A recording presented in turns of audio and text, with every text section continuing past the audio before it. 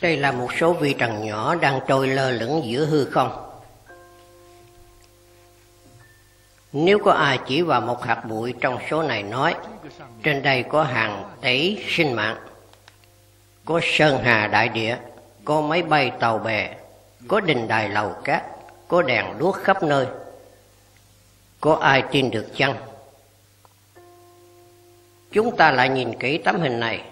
Đây cũng là một số phi trần nhỏ đang trôi lơ lửng trong không gian. Trong số này có một hạt màu xanh, nó tức là địa cầu. Bức ảnh này được chụp trong thái không cực xa.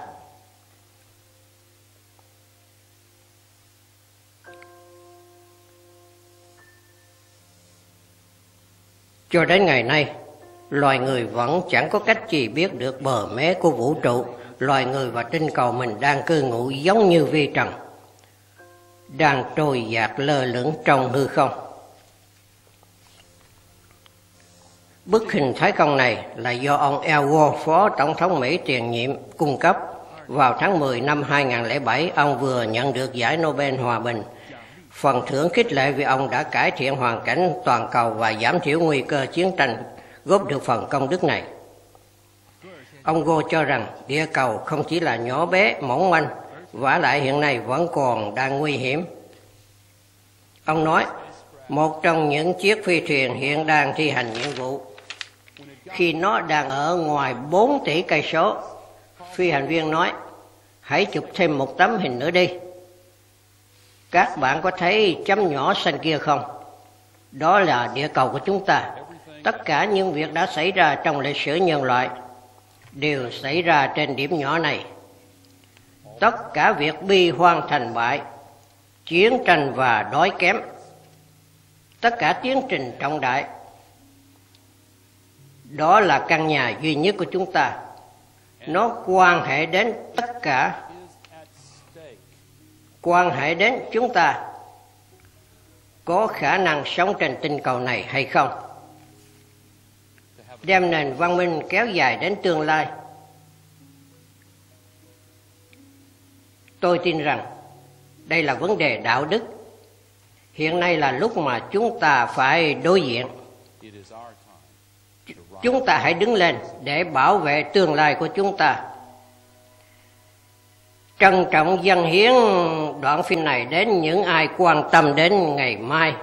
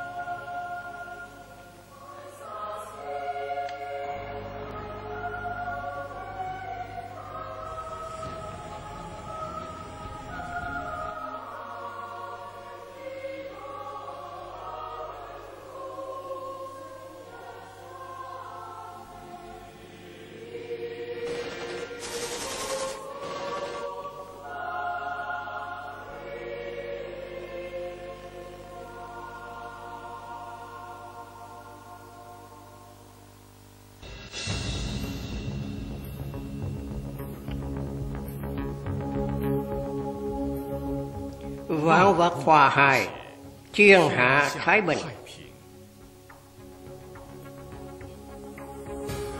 Đây là loạt bài tiết mục công ích hòa hài cứu vãn nguy cơ, gồm có bảy chủ đề đặc biệt quan trọng. Nguy cơ sâu nặng nhất của thế giới ngày nay ở tại đâu? 人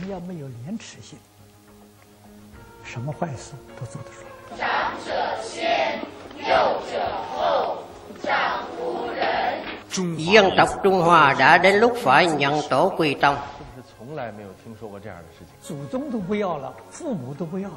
如果说爱国家，那是假的。等我有钱了，我做两个特恶心的广告，在全国人民吃午饭直播。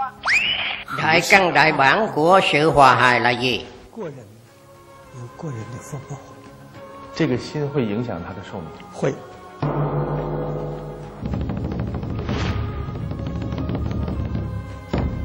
chánh trị thiên thời địa lợi nhân hòa của nhà nho Trung Quốc.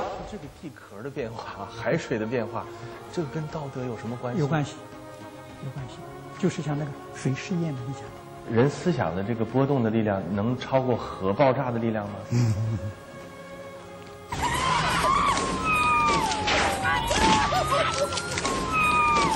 在媒体 Trong 中 phương tiện truyền thông tái sanh hay ở trong đó hủy diệt. 是不是不义之财？要救国家的是你们这些人，毁灭国家的也是你们这些人。Trở lại nhận thức tôn giáo. 怎么会看一个出家人来给你解决人世间的这些问题呢？我年轻的时候不相信宗教，啊，更不相信佛教。让我们赤诚的心来感恩。Thị trấn thanh Trì có thể trở thành gương mẫu cho người đời không?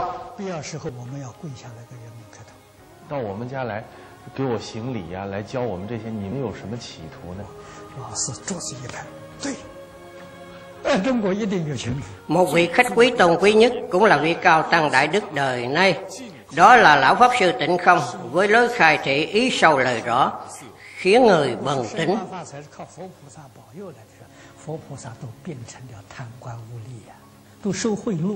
nhận rõ đạo lý của hòa hài cùng nhau xây dựng thái bình cho thiên hạ hòa hài cứu vãn nguy cơ tập 1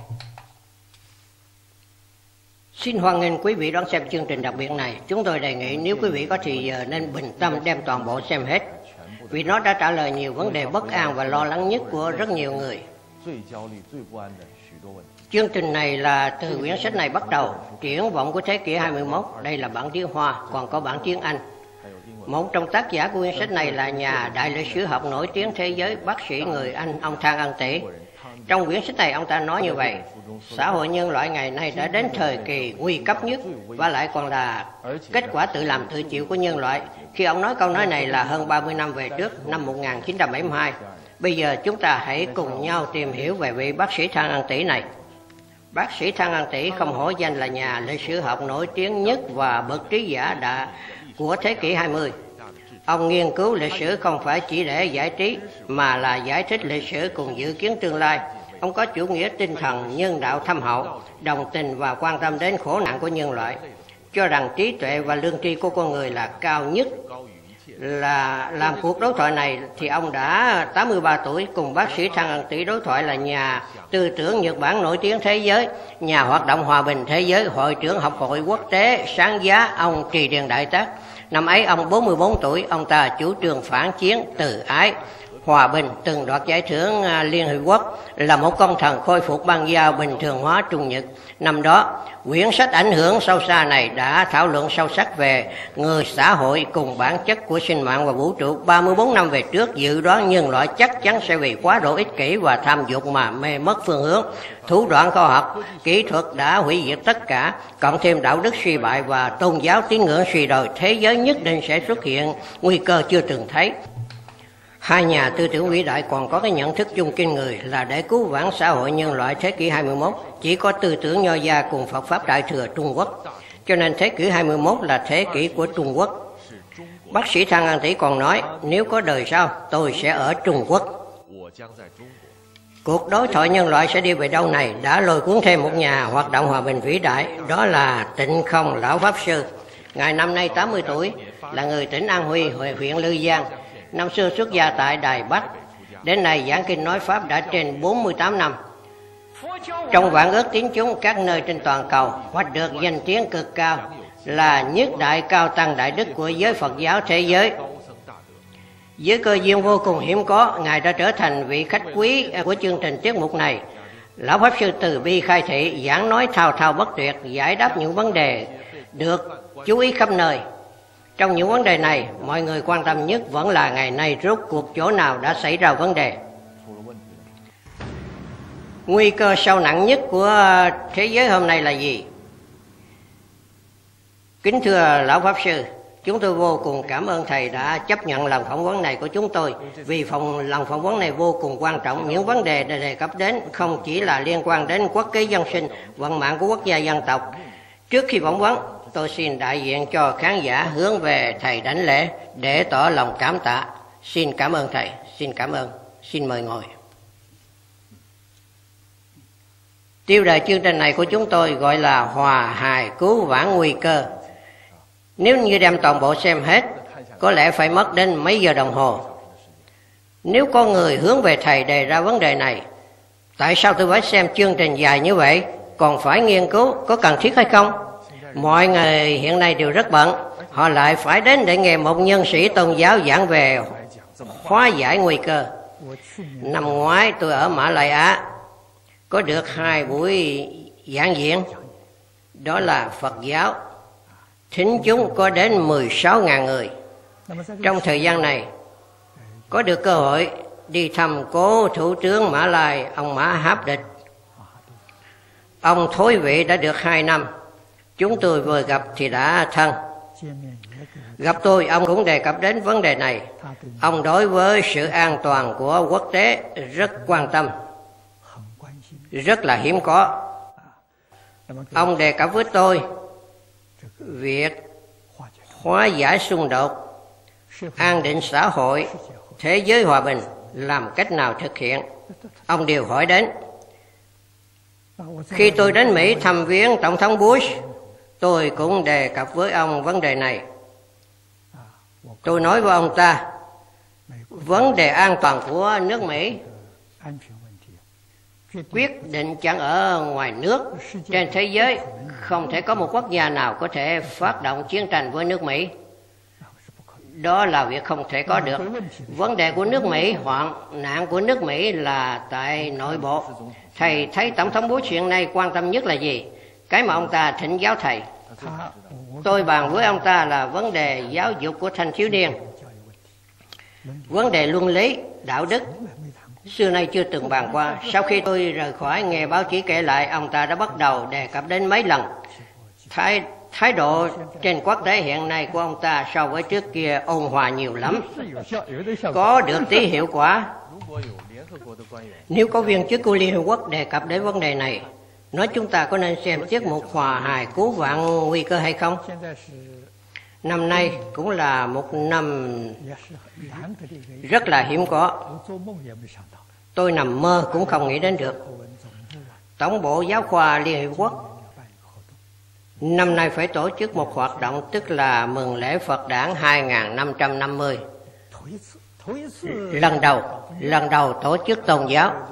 Tôi nghe nói họ sẽ mời tôi làm đơn vị tổ chức chủ yếu.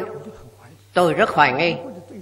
Tôi nói đối tượng của liên quốc là quốc gia đối với quốc gia còn học hội tình tông của tôi đâu phải một quốc gia tại sao lại phải tìm tôi? Đồng thời họ còn mong tôi tổ chức một cuộc triển lãm đại quy mô, phòng họp của họ rất lớn. Một nửa triển lãm mà chúng tôi trong năm năm nay đã làm một số công tác ừ, cho nền hòa bình thế giới như đoàn kết tôn giáo, hóa giải xung đột đã làm những công tác về mặt này. Còn về mặt khác là sự giảng dạy tại Lư Giang phải toàn bộ đem ra triển lãm về việc Lư Giang là sau khi tôi tham gia năm lần hội nghị hòa bình của Liên Hiệp Quốc tôi cảm thấy sâu sắc rằng Liên Hiệp Quốc vì nền hòa bình thế giới đã họp trên 30 năm. Thế giới càng họp thì càng loạn. Nhóm chuyên gia học giả tham dự hội nghị. Học giả tôi cũng quen rất nhiều. Sau hội nghị đều lắc đầu. Vì sao? Vì không thể thực hiện. Tôi đang muốn thỉnh giáo thầy vấn đề này. Hội nghị Liên hợp Quốc đã mời thầy đi họp nhiều lần như vậy, đến nỗi thầy không muốn đi họp nữa, đến nỗi thầy phê bình là nhọc người, tốn của, Đúng vậy, những nước tham gia còn nhiều hơn Liên Hiệp Quốc ở Niệu ước. Liên Hiệp Quốc bên đó chỉ có 140 quốc gia, còn đây có đến 192 quốc gia. Nhưng đại biểu nhiều quốc gia như vậy cũng không thể nào khuyên lân được, cũng không thể nào khiến những nguyên thủ quốc gia này tiếp nhận những kiến nghị đó. Đúng vậy, chúng tôi là làm cho những quốc gia này nhận thức Phật giáo, thì mục đích của chúng tôi đã đạt được. Đồng thời nói với mọi người, vì hiện nay mọi người thật sự vô cùng quan tâm xung đột làm sao hóa giải. Họ không hỏi là à, gọi là hóa giải mà gọi là tiêu diệt. Tôi không muốn dùng chữ tiêu diệt. Tiêu diệt có tách cách chiến đấu. Phải dùng ôn hòa. Anh coi Tây Y và Đông Y khác hẳn. Tây Y là tiêu độc. Độc phải tiêu diệt. Còn Đông Y là hóa giải là giải độc. Trung Quốc là giải độc chẳng phải tiêu độc. Cho nên từ trên tâm lý thì khác hẳn. Khi tiết mục này của chúng tôi bắt đầu Tôi nghĩ về một câu thơ của Mao Chủ tịch gọi là Nước có nghi nàng hỏi ai đây?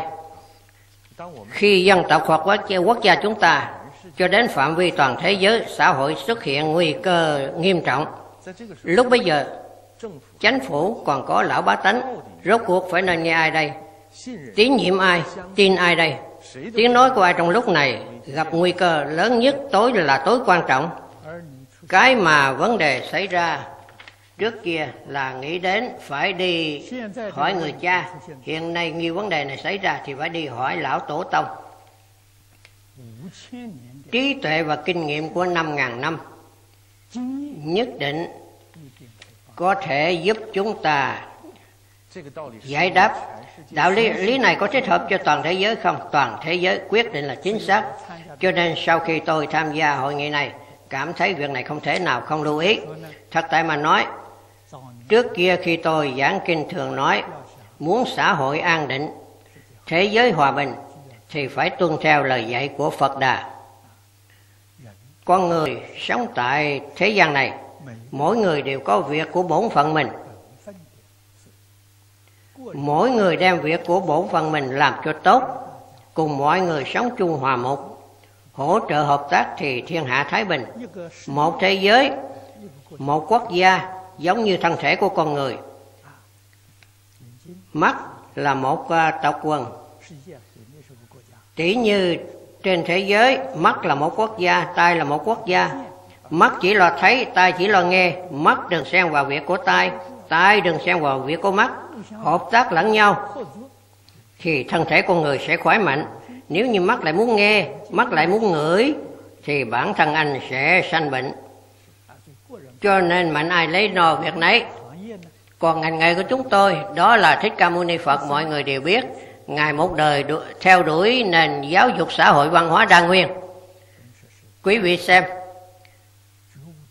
Ngài từ 30 tuổi sau khi giác ngộ thì bắt đầu dạy học. Xả bỏ ngôi vua, xả bỏ vinh hoa, phú quý Sống đời sống của một khổ hạnh tăng. Mãi đến khi già chết Ngài là 74 tuổi qua đời. Giảng kinh hơn 300 hội Nói Pháp 49 năm. Nếu dùng cách nói bây giờ mà nói Ngài chẳng phải tôn giáo Ngài cùng tôn giáo không liên quan. Vậy liền có người các nơi trên thế giới đến nước Pháp để xem và tham gia lần triển lãm này của Phật giáo. Thầy cảm thấy Thích Ca Mâu Ni Phật hoặc giả là Phật Tổ, Ngài nên kể như là lão tổ tông của ai, hoặc đại biểu cho ai. Thích Ca Mâu Ni Phật, Ngài đại biểu cho trí tuệ. Ngài có thể nói đã thừa kế tôn giáo truyền thống thời cổ của Ấn Độ. Trong tôn giáo, một cái là định, một cái là tuệ. Tất cả tôn giáo đều không rời khỏi giới định tuệ. Giới là quy luật, anh phải y theo quy luật truyền thống để làm thì anh đạt được định. Định có thể đột phá duy thứ không gian. Khôi phục trí tuệ trong bản tánh ta sẵn có Thích Ca Mâu Ni Phật có thể nói là ở phương diện này Ngài đã đạt đến tột đỉnh. Cho nên Ngài đã nói một câu Tất cả chúng sanh đều có như lai trí tuệ đức tướng. Từ chỗ tính chính mắt Thầy à, Ngài thấy và thân chứng Trí tuệ của loài người là bình đẳng và lại là viên mãn. Quả thật là vô sở bất tri, vô sở bất năng Vô sở bất năng là năng lực. Cái thứ ba là tướng hảo. Cho nên nói trí tuệ, đức năng, tướng hảo, tất cả chúng sanh đều là bình đẳng. Đã bình đẳng mà sau này lại trở thành không bình đẳng. Ngài nói vì có chướng ngại. Chướng ngại này trong Kinh Hoa Nghiêm nói chỉ bởi vọng tưởng phân biệt chấp trước mà không chứng đắc. Cho nên Ngài nói với người đời, công phu tu hành ở tại đâu? Anh chỉ cần đem vọng tưởng phân biệt chấp trước buông xuống thì anh thành tựu anh sẽ hiểu rõ Ngày nay vọng tưởng phân biệt, biệt chấp trước anh không buông xuống được. Thì thế giới này trở thành ra sao? Trở thành lục đạo luân hồi.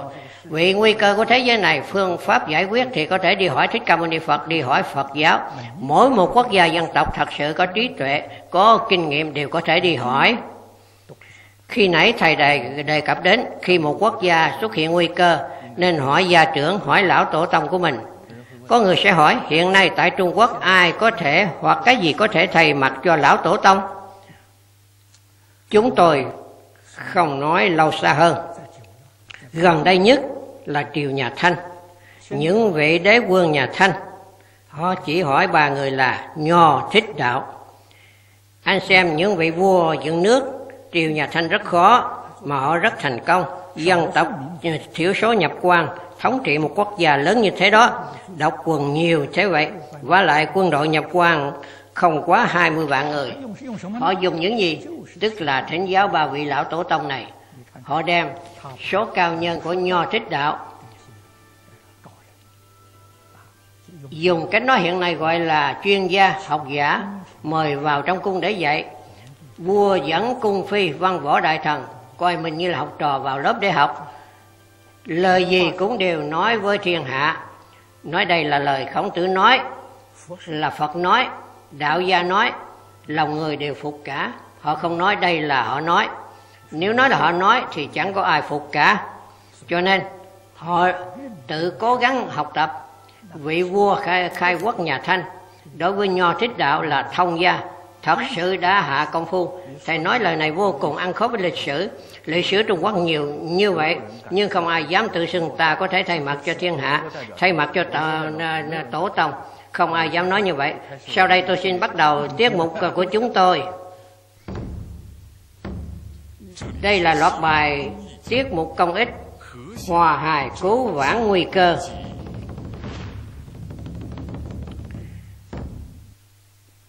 Quyển sách này là triển vọng của thế kỷ 21 do ông Thang Ân Tỷ, nhà lịch sử học Anh Quốc viết vào năm 1972, còn có học giả Nhật Bản là ông Trì Điền Đại Tác cuộc đối thoại của họ.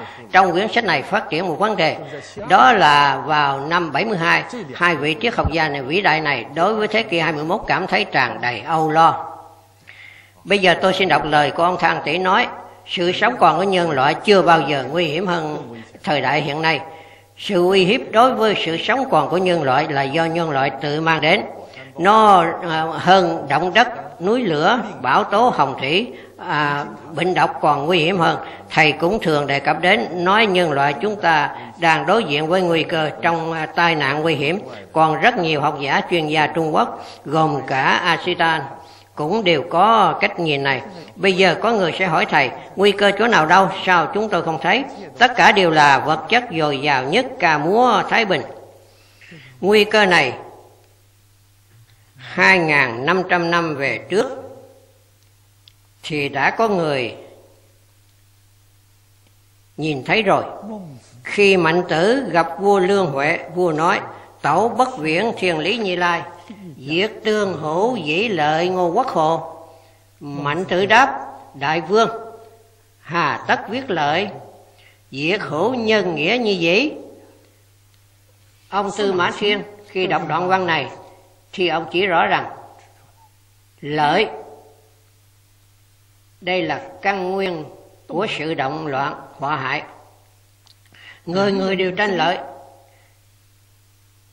Thì thiên hạ nguy to trên dưới đều giao tranh. Anh xem chẳng phải đã nói rõ rồi sao? À, hiện nay nguy cơ ở đâu? Nguy cơ anh thử xem trên thế giới có ai không tranh lợi? tranh lợi động cơ cơ cơ của nó mục tiêu của nó chắc chắn là hại người lợi mình. Người người đều làm hại người lợi mình thì thế giới này sao không động loạn được? Xung đột sao có thể không xảy ra không có cách chi hóa giải. Làm sao hóa giải đây? Mọi người đều đem lợi xem lợi đi đem lợi buông xuống thì liền có thể hóa giải. Anh coi vấn đề này khó biết mấy. Vì hiện nay tại sao mọi người không tin những điều này? Ngày nay trong phật pháp giải thích rất rõ ràng. Nhân loại trong tâm có phiền não của tham sân si. Nó có sẵn lúc ta ra đời. Bên ngoài thì những cám dỗ của vật chất cám dỗ cái danh văn lợi giữa ngũ dục lục trần. Có ai chống lại được?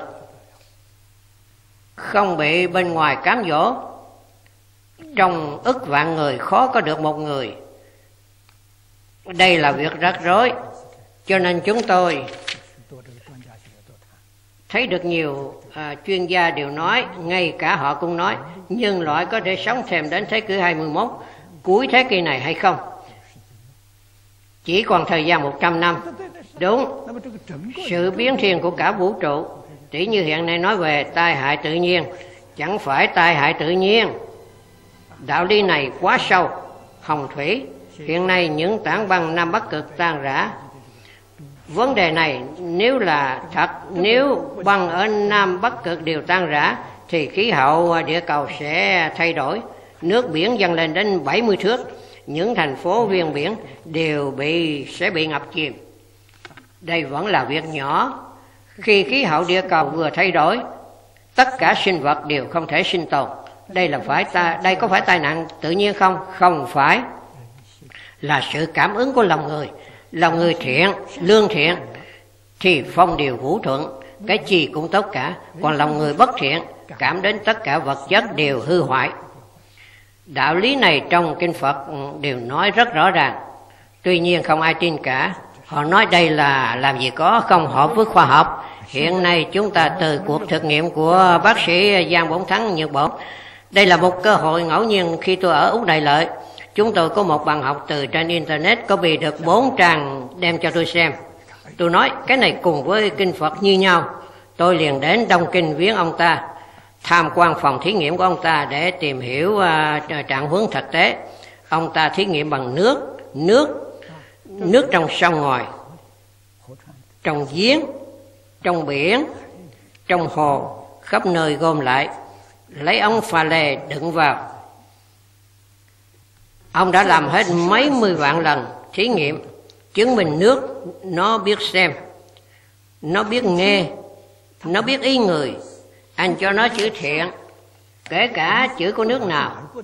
Anh viết một chữ ái đem chữ ái dán lên trên ống nước. Một giờ sau đó đem bỏ vào tủ lạnh cho nó đông lạnh. Dưới 5 độ nó liền kết tinh. Sau đó để dưới uh, kính hiển vi xem.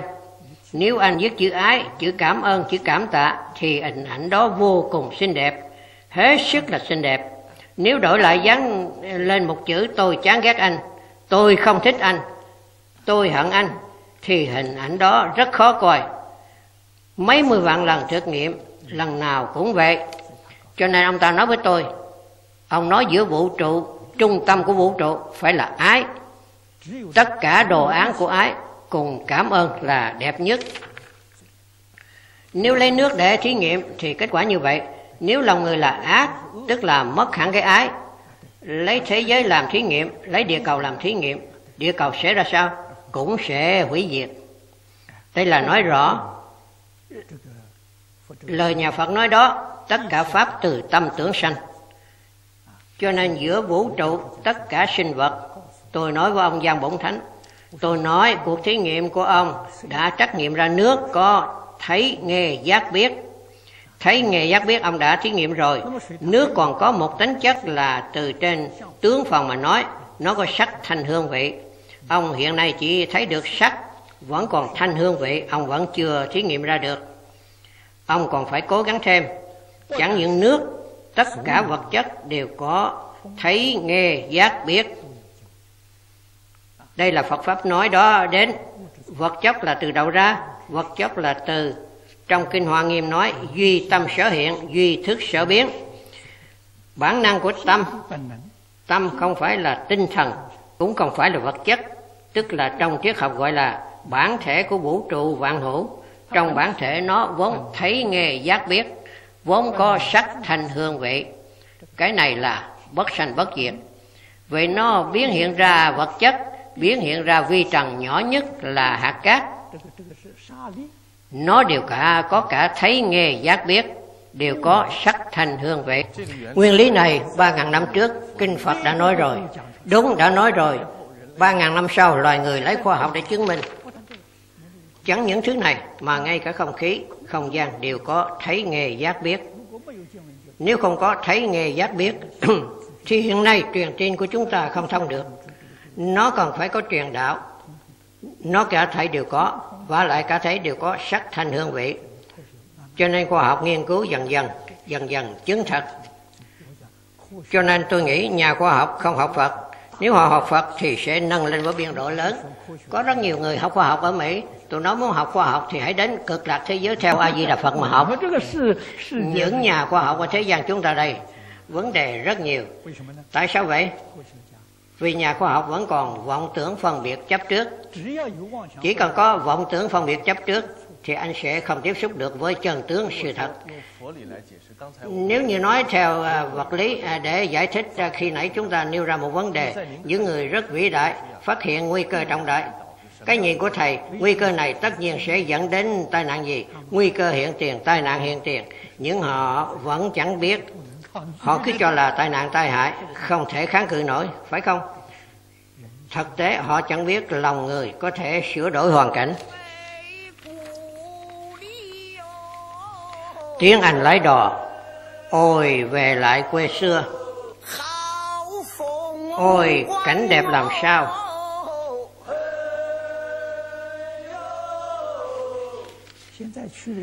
Bây giờ về thì hai bên bờ trụi lũi trống rỗng cây cối toàn bộ đều bị chặt rủi cho nên mới có năng lụt đã mất đi thủy thổ bảo vệ cây cối.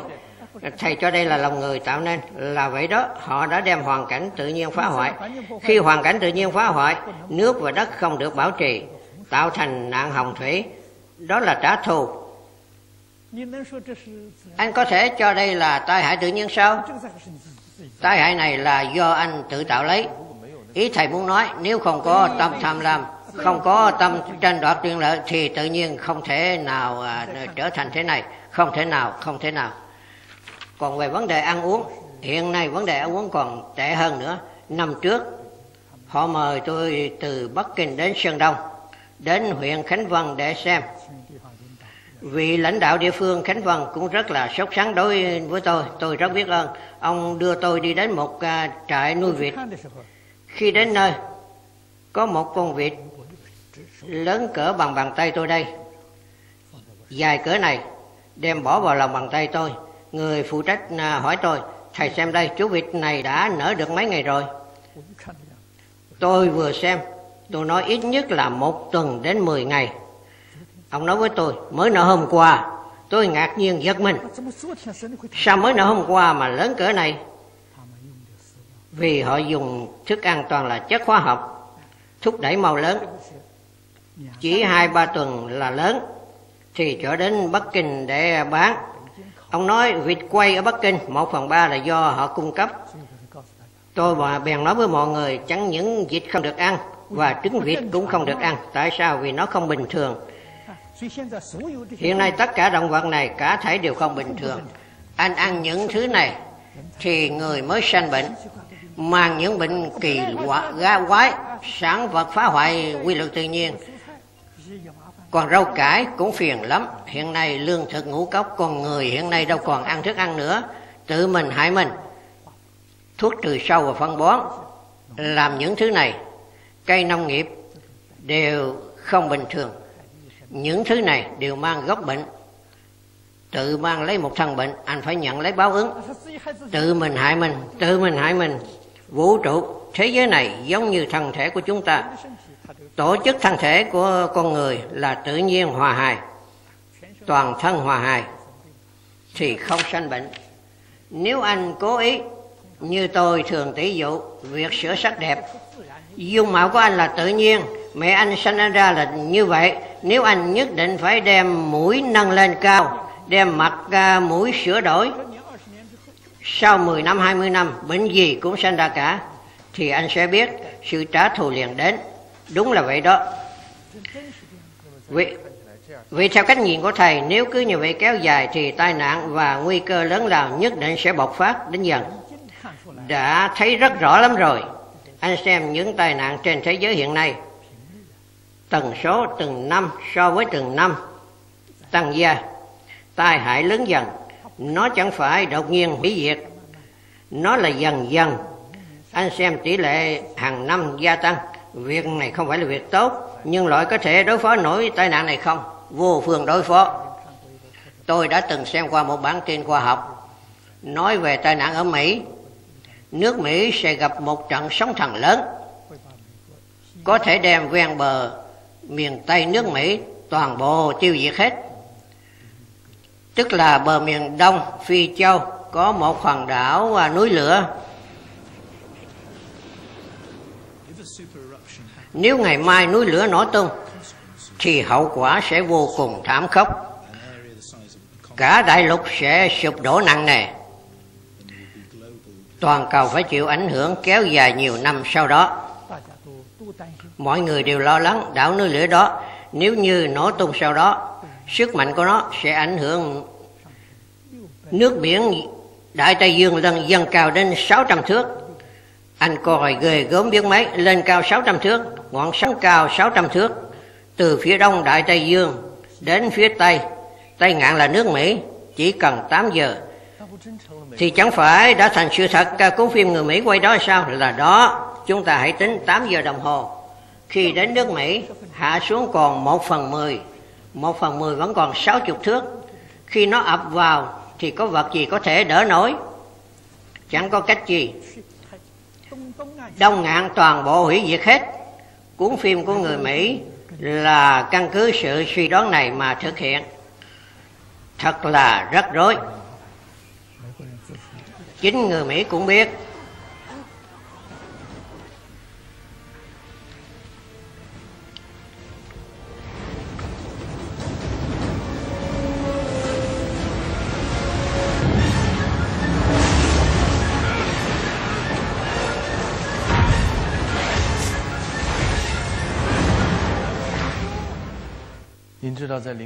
Thầy biết năm 2003 ở Trung Quốc đại lục đã xảy ra dịch phi điển. Lúc đó toàn dân đều ra khẩu hiệu là chống lại dịch phi điển. Người dân áp dụng phương pháp khoa học để chống lại nạn này. Có thể tiếp tục kháng cự nhưng theo cách nói của thầy là khác. Khác hẳn, khoa học dùng bất cứ phương pháp gì, chỉ là tính cách cục bộ. Tức là đau đầu thì chữa đầu, đau chân chữa chân, không phải biện pháp căn bản. Biện pháp căn bản là ở nơi lòng người, lòng người hướng thiện thì không nhiễm những loại bệnh này. Lòng người thanh tịnh, tức là khả năng miễn dịch. Thanh tịnh tâm, lòng từ bi có thể giải độc. Lòng thanh, thanh tịnh thì anh không bị lây. Cho nên nếu tâm anh à, thanh tịnh từ bi, nơi nào có bệnh dịch anh đến đó tuyệt đối không bị lây nhiễm. Lúc đó à, thầy đang ở Hồng Kông, tôi đang ở Hồng Kông. Thầy có đeo tấm vải che miệng không? Không có, không có và lại bệnh phi điển rất thông thường. Người trung quốc gọi là bệnh dịch. Không đáng sợ. Gần giống như bệnh cảm mạo. Tôi nghe nói có một vị à, đạo diễn họ tạ cũng mang bệnh này. Bệnh viện cho biết ông chỉ còn sống à, nhiều nhất là ba ngày. Vô phương.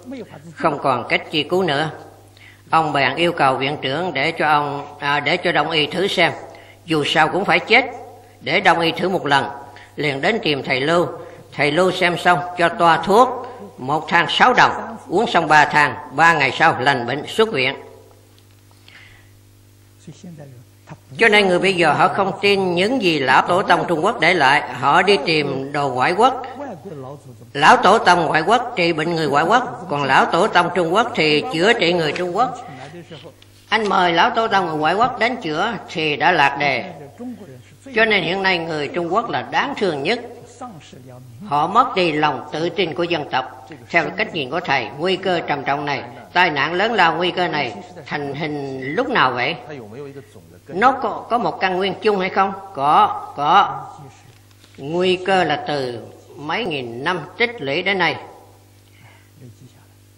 Tích lũy đến nay Thành hình nguy cơ này Rõ ràng nhất là sự phát triển của khoa học kỹ thuật.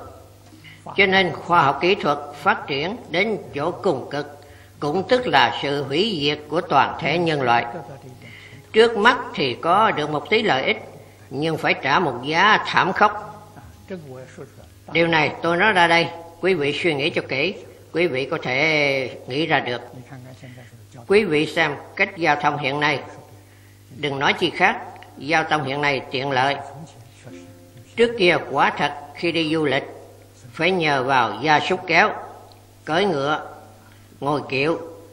Nhiều nhất là ghe buồm nhỏ, nhưng bạn bè thì chẳng ngại ngàn dặm xa xôi mà đến. Phải mất mười mấy ngày hoặc nửa tháng. Mối cảm tình này thân thiết, nay không còn nữa. Hiện nay máy bay một ngàn cây số chỉ một giờ là đến cảm tình không có. Quý vị nghĩ xem, luân lý đạo đức khoa học kỹ thuật đem toàn bộ đạm hóa, có thể đem mình hủy diệt mất. Căn nguyên chính là ở khoa học kỹ thuật. Đúng đúng vậy. Phát triển một cách quá độ. Cho nên nói, trên thế giới số người thông minh, quả thật có trí tuệ, có tầm nhìn, đều cho là khoa học chỉ cần làm đến thích hợp vừa phải đừng nên phát triển thêm. Phát triển thêm nhanh thì cái giá phải trả càng lớn. Đây là loạt bài tiết mục công ích, hòa hài, cứu vãn, nguy cơ. Thầy đã từng phán đoán như vậy. Người xưa trung quốc, lão tổ tông là có đức hạnh nhất. Vì con cháu đời sau của mình, họ thông minh tài trí, nhưng không phát triển đến cực điểm sợ hủy diệt tâm linh của người đời sau. Đúng vậy, bởi vì khi phát triển đến là cực độ thì phải là vừa lòng dục vọng của con người. Tí như rất nhiều những kỹ thuật đặc biệt tiên tiến thời xưa Trung Quốc kỳ thật có thể làm được, có thể làm được. Nhưng tổ tiên chúng ta không làm như vậy, không như vậy. Đây là gì? Đây tức là đạo đức, hy vọng duy trì luân lý đạo đức. Cuộc đời luân lý đạo đức mới là cuộc đời chân thiện mỹ tuệ Hiện nay toàn thế giới rất nhiều người đều cho rằng xã hội nhân loại chúng ta đã tiến vào giai đoạn phát đạt và đẹp đẽ nhất. Sinh hoạt vật chất cực kỳ vọng vinh. Nam nữ già trẻ đều rất mừng. Tôi còn nhớ thầy đã từng nói, thầy nói người hiện nay sống đó không phải là lối sống của con người. Vì thầy đã già rồi, 80 tuổi, thầy đã từng trải qua thời đại hoàn toàn không ô nhiễm bởi vật dụng tràn ngập. Và lại thầy thông hiểu xưa nay rất nhiều cảnh được mô tả trong sách. Xin thầy có thể hướng về người đời nay hoặc những vị lãnh đạo của các quốc gia miêu tả chút ít về đời sống xã hội đẹp nhất của nhân loại phải như thế nào? Đời sống bình thường là luân lý, là đạo đức, là nhân quả, là trí tuệ. Nền giáo dục của Trung Quốc từ xưa đến nay đều là lấy đây làm nội dung chủ yếu của giáo dục luân lý là quan hệ giữa người với người. Cho nên nền giáo dục của trung quốc khởi à, điểm. Chúng ta nên biết, luân lý là đạo. Tỷ như vợ chồng, cha con, anh em, quân thần, bằng hữu, đây là tự nhiên hình thành. Tuyệt đối chẳng phải ai phát minh, ai bó buộc. Không phải. Phàm là tự nhiên thành tựu, thì người trung quốc gọi là đạo. Nếu anh tùy thuận tự nhiên, đây là đức phụ tử hữu thân nền giáo dục của trung quốc là từ điểm này xuất phát. Cho nên tôi nói chữ thân này là cái nguyên điểm của nền giáo dục trung quốc. Nó từ đây sinh ra. Nền giáo dục trung quốc cầu đó là gì? Là tình thân ái của cha con trong một đời vĩnh viễn không thay đổi. Phụ từ tử hiếu vĩnh hằng bất biến. Anh coi tấm thân, ờ, thân tình này đây là sự hưởng thụ của chân chánh niềm vui của thiên luân. Đúng, niềm vui của thiên luân. Mục tiêu thứ hai là đem tình thân ái này mở rộng ra, đem nó mở lớn ra. Yêu huynh đệ, yêu gia đình, yêu gia tộc, yêu láng giềng quê hương, yêu quốc gia, yêu xã hội, yêu thiên hạ và yêu tất cả chúng sanh. Mở lớn ra, đây là lý tưởng giáo dục mấy nghìn năm của trung quốc cho nên nền giáo dục của Trung Quốc có thể nói là nền giáo dục của luân lý, nền giáo dục của đạo đức, nền giáo dục của tình thương. Thầy mô tả đây là vô cùng hòa hài, căn cứ xã hội mấy nghìn năm truyền thống của Trung Quốc, vì nó là nền giáo dục của phụ tử, tử hiểu thân, nó vốn là hòa hài mà. Nhưng ngày nay chúng ta mở cửa ra ngoài đường, chúng ta có thể hỏi những người trẻ tuổi, cũng có thể hỏi những bậc làm cha mẹ phần nhiều họ đều không đồng ý. Họ cho rằng mình đưa họ trở về quá khứ, chắc chắn họ sẽ không về. Nói sao tôi có thể sống những ngày giờ lạc hậu như vậy? Họ không chịu như vậy. Không phải lạc hậu. Thay làm sao thuyết phục được những người hiện nay chứ? Nguy cơ phải nhờ đây hóa giải, nhưng họ ưa thích à, hiện đại hóa. Tôi ở tại thang trì làm cuộc thực nghiệm này. Tức là nói với người trong thiên hạ, vì sao tôi phải làm như vậy? Khi chúng tôi làm đem à, lý tưởng này nói với mọi người. Chúng tôi chiêu học sinh trên Internet. Đối tượng chiêu học sinh của chúng tôi là giáo viên lớp vỡ lòng, giáo à, viên à, tiểu học, giáo sư trung học vì họ đã có kinh nghiệm dạy học. Chúng tôi muốn dạy 30 giáo viên, ghi danh 300 người, gần 400 người. Chúng tôi chọn thật kỹ 30 người, chí đồng đạo hiệp, mọi người đều có ý nguyện này. Đem truyền thống của Trung Quốc ờ, phục hưng trở lại, cho nên tôi đến gặp họ, tôi nói, quý vị hôm nay chẳng phải là làm công việc giáo dục và tầm thường, Tôi nói quý vị phải làm thánh nhân, phải làm khổng tử ngày nay, phải làm à, mạnh tử ngày nay, phải làm thích ca mâu, mâu, mâu, mâu ni Phật ngày nay. Quý vị là đến cứu đời, quý vị phải mang một hoài bão vĩ đại để theo đuổi sự nghiệp vĩ đại này. Sự nghiệp vĩ đại này rất vất vả, hai tháng đầu bồi dưỡng đức hạnh của họ, yêu cầu họ à, thực hiện cơ sở giáo học của nhà Nho là đệ tử quy.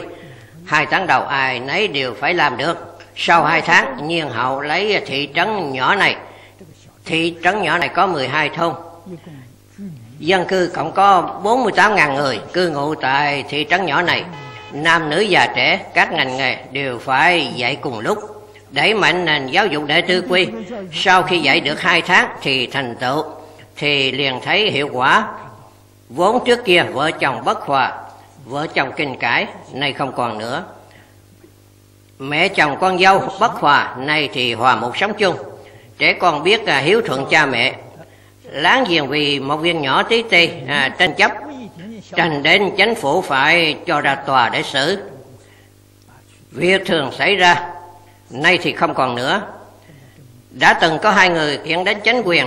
Chánh quyền nói quý vị đã học đệ tứ quy, không thấy thẹn còn sao đến đây. Hai người này lật đật đi về. Trong những cửa hàng không còn trộm cắp nữa. Tài xế taxi không gian nữa. Rất nhiều, rất nhiều, rất nhiều. Những người đang đi trên phố họ có thể giáo hóa được tốt được sao? Lần thứ thí nghiệm này của chúng tôi là nói với thiên hạ, nhân dân có thể dạy trở thành tốt được hiện nay họ sống vui sướng biết mấy. Tất cả tranh chấp không còn nữa, xung đột không còn nữa, đối lập không còn nữa. Giữa người với người, gặp nhau đều là chào bằng cúc cùng 90 độ.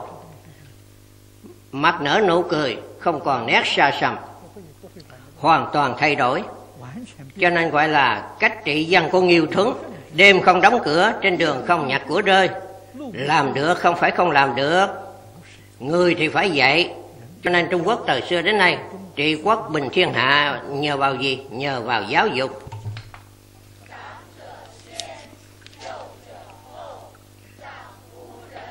Trung Trung Quốc trong 5.000 năm, anh cứ xem lịch sử, anh xem thời cổ trước kia, những viên chức nhà nước, chế độ quản lý, họ đem giáo dục đặt ở hàng đầu. Thừa tướng cấp dưới 6 bộ, bộ lễ là bộ giáo dục đặt hàng đầu. Nói một cách khác, lấy cái nói hiện nay để nói, tất cả đều phục vụ cho giáo dục. Giáo dục là tình thương, giáo dục là hòa bình.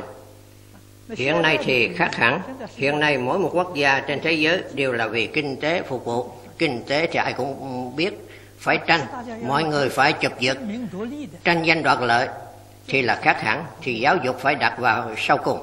Tất cả đều vì kinh tế phục vụ, điều này ghê gớm lắm Mạnh tử gọi là người người đều đang tranh lợi thì quốc gia lâm nguy. Kết quả của khoa học kỹ thuật phát đạt đúng không có đạo đức kiềm chế. Dưới đây tôi xin là, liệt kê bốn lần bước cuối. Trước tiên là quan viên chính phủ. Đây là lần bước cuối của sự quản lý. Họ nếu lấy quyền hạn mua đồ riêng tư tham ô hữu bại thì khu vực này toàn thể lão bá tánh không còn quản lý. Thứ hai là hệ thống tư pháp công an, viện kiểm tra à, đây là mức cuối của công bằng xã hội. Thứ ba là giáo viên và nhà trường. Đây là lần mức cuối của cả cả nền giáo dục xã hội. Nên mức kiếm à, đều muốn kiếm tiền từ gia trưởng đến các hạng người đều chẳng có sư phạm và gương mẫu. Thứ tư là bác sĩ và bệnh viện hệ thống nhân đạo. Bệnh viện cần thu rất nhiều tiền. Mọi người đều là quan hệ buôn bán theo thầy thấy. Những cảnh tượng khi nãy có phải là điềm báo trước của nguy cơ sắp đến chăng? Đúng vậy. Đây là điểm báo trước khắp cả thế giới. Tôi đã đi qua rất nhiều quốc gia, địa phương. Đều là như vậy. Vì làm sao cứu vãn thị trấn nhỏ thang trì có thể cứu vãn được. Cảm động những quan viên ở đó, cảm động những người này. Con người đều có lương tâm. Cho nên nền giáo dục của Trung Quốc trước hết phải khẳng định nhân tánh bổn thiện. Anh xem xưa kia trẻ nít học tam tự kinh câu thứ nhất là nhân chi sơ tánh bổn thiện. Nhân tánh bổn thiện. Cho nên người đều có lương tâm. Nay họ bị dục uh, uh, vật dục đem lương tâm chê lấp. Chỉ cần có người khải phát thì lương tâm họ sẽ phát hiện.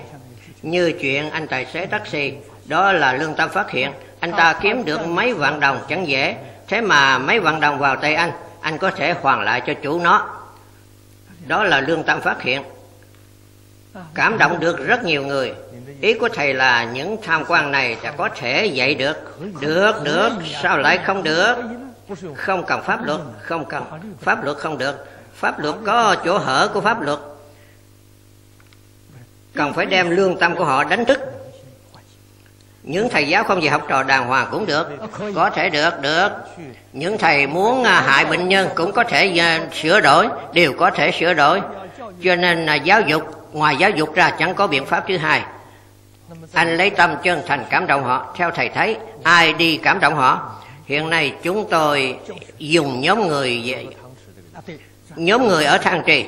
Chúng tôi đi à, dạy lão bá tánh. Lão bá tánh đi cảm động họ. Lão bá tánh đều là người lương thiện nguồn gốc của nó vẫn là sư đạo đúng cho nên giáo học vi tiên mấy ngàn năm nay vẫn là kiến quốc quân dân giáo học vi tiên những vị thầy này không phải là những vị thầy theo thừa nhận của xã hội không phải loại thầy này tôi là yêu cầu họ từ chức họ chỉ là thầy ở trường còn thầy của tôi là cụ thể thầy có tôi là thật sự làm những gì đã nói, họ đều làm được. Là vị thầy chính yếu đang dạy ở đó, rất hiếm có. Những vị thầy chính yếu của chúng tôi, đối với mọi người, đều chào bằng cúc cùng 90 độ. Cảm được người, đây là người tốt. Trên đường phố rác rến à, lung tung, quý vị thầy sắp thành à, đội ngũ quét và hốt rác trên đường phố. Người dân nhìn thấy sau một tuần không dám xả rác bừa bãi nữa. Lại có một người, có một phụ nữ nói, nhà cầu của chúng tôi dơ lắm. Xin quý vị đến rửa giùm.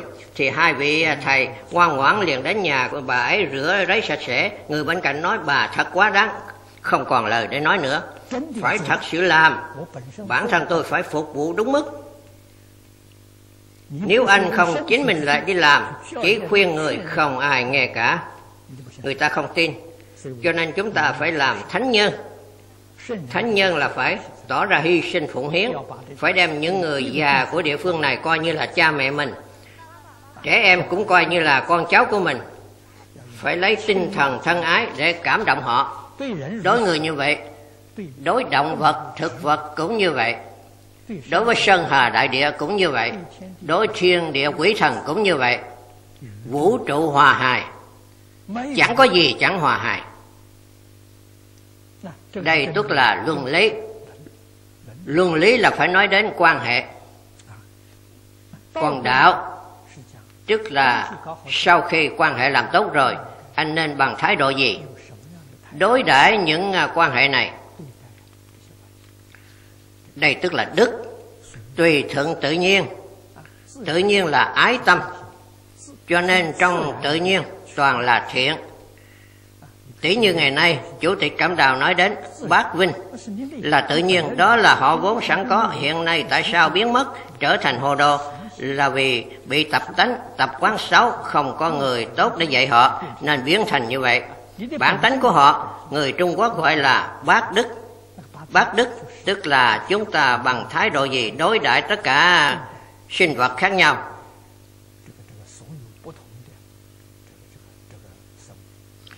dùng hiếu để trùng tín, lễ nghĩa liêm sĩ. Đây là bác đức nền đạo đức truyền thống này là tám chữ này thầy vừa nói đó, là lúc con người vừa sinh ra. Còn là trẻ con thì đã có đủ cả, có đủ cả. Cho nên anh phải khiêu gợi nó, phải bồi dưỡng nó, đừng để nó bị nhiễm ô.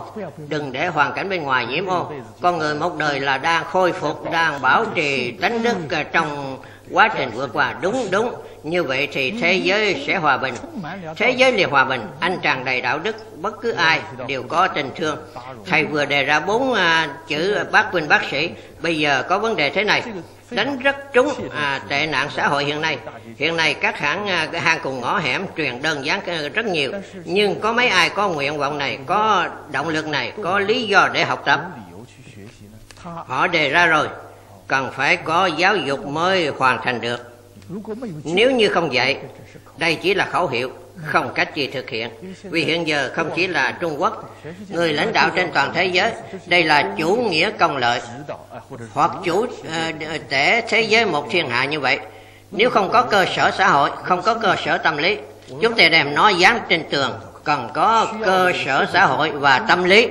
Thầy thấy ở Trung Quốc là a là gì? Tức là phải dạy cho nên phải nhớ lấy lão tổ tông kiến quốc quân dân giáo học vi tiên. Bây giờ tôi xin thêm một câu ở giữa là tu thân vi bổn. Tự anh chưa làm tốt thì không thể dạy người. Vì sao? Vì khi anh dạy người họ không tin.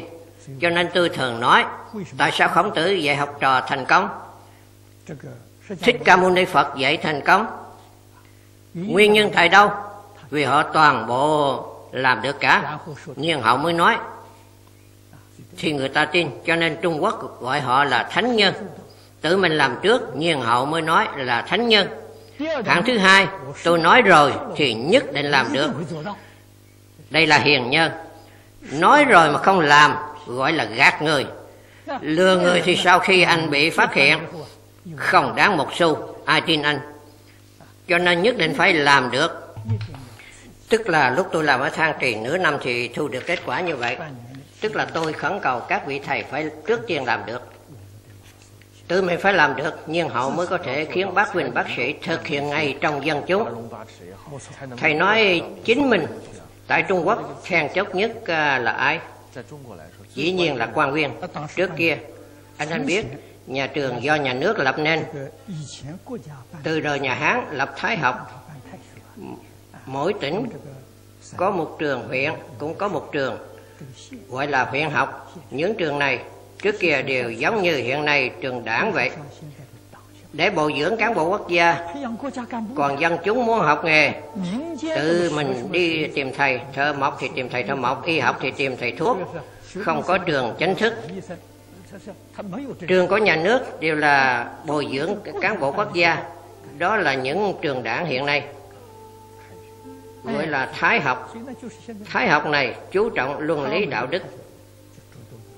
Học trò của họ phải được tuyển, không phải tùy tiện ghi danh. Họ là được chọn. Ai chọn vậy? Cán bộ địa phương. Lúc đó đâu có tivi ai biết anh làm gì. Họ chỉ thay bộ y phục thì không ai nhận ra. Ra ngoài thăm hỏi. Tìm người nào? Tìm hiếu tử. Liêm khiết, tức là hiếu liêm chế độ đời hán chẳng phải tìm hiếu liên hay sao? Chúng ta xem đời hán tuyển quan viên. Vị đầu tiên là phẩm đức của họ. Đúng là vậy đó. Vì phẩm đức anh tốt, thì anh sẽ không phản quốc. Anh sẽ tận trung. Anh liêm khiết thì không tham ô. Cho nên quan viên quốc gia với hai điều kiện là, thứ nhất, đối với quốc gia phải tận trung báo quốc, yêu lãnh đạo, yêu nhân dân. Thứ hai là không tham. Liêm khiết cho nên nhà nước tuyển cán bộ là hai chữ này. Hai chữ này đã dùng hết trên 2.000 năm rồi. Đời Hán chính thức định thành chế độ. Hơn 2.000 năm đều là như vậy. Thay đổi triều đại đã bao phen, nhưng chính sách ừ, giáo dục của Trung Quốc chẳng thay đổi. Chọn lấy hiếu liêm chẳng có thay đổi.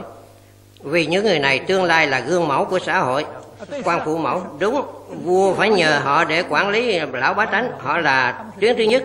Tuyến thứ nhất hữu bại thì triều đình sẽ mất nước thì chính quyền sẽ không ổn định. Chắc chắn là như vậy. Hiện nay là thời đại kinh tế quyết định tất cả. Phương pháp truyền truyền à, phương pháp truyền thống cổ xưa của thầy có thích hợp không? Còn thích hợp. Ngày nay quả thật vẫn còn rất nhiều người rõ lý. Đồng bằng lòng phục vụ cho nhân dân đó là gì? Đó là thật sự có ý nghĩa, có giá trị. Hiện nay tình trạng gì đây? Mọi người càng vui sướng thì càng đọa lạc. Càng đọa lạc thì càng vui sướng. Là thời đại như vậy. Vấn đề của tôi là, so với nguy cơ sâu nặng đáng sợ hơn, phải chăng con người đã mất đi lòng sợ hãi, mất đi tâm vinh nhục, mất đi nguyện vọng muốn sửa đổi, đọa lạc, sửa đổi tất cả những hiện trạng nguy cơ? Họ không còn nguyện vọng này. Theo đức hạnh mà nói một chữ. Lễ nghĩa liêm sĩ chữ sĩ chữ sĩ đã bỏ mất. Chữ sĩ bỏ mất thì ghê gớm lắm. Nếu con người không còn tâm liêm sĩ việc xấu xa gì cũng có thể làm được. Cho nên người xưa trung quốc có nói, tri sĩ cận hồ dũng. Dũng là gì? Là dũng mãnh tinh tấn.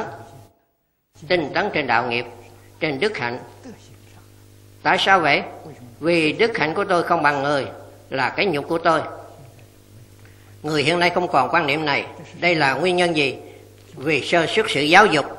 Ngày nay những vị lãnh đạo trên thế giới đều tin sâu điểm này, tức là thực ờ, lực quyết định tất cả. Vật chất chắc chắn đánh thắng tinh thần. Nó không thể thay đổi tất cả trên thế giới. Ai cũng tin điều này. Thôi được.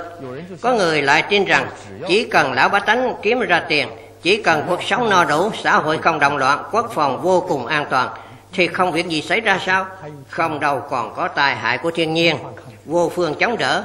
Anh coi nước mỹ, nếu như nhà khoa học nói, một trận sóng thần, một trận động đất lớn, thì toàn bộ hủy diệt hết. Anh còn ngày tháng yên vui để sống không? Còn như bệnh ông dịch. Một trận ông à, bệnh ông dịch lớn, nhà khoa học ước tính. Giới học nói họ họ cảm thấy bệnh cúm da cầm có thể bộc phát. Đến lúc đó khi tai nạn đến thì đau đầu chữa đầu đau chân chữa chân trở tay không kịp. Phương pháp duy nhất là đạo đức. Hiện nay có phải đã đến bước cuối cùng rồi không? Là bước cuối cùng.